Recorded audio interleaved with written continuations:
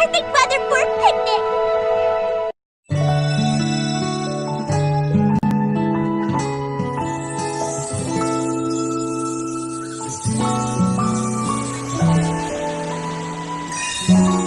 Shall we go on a picnic?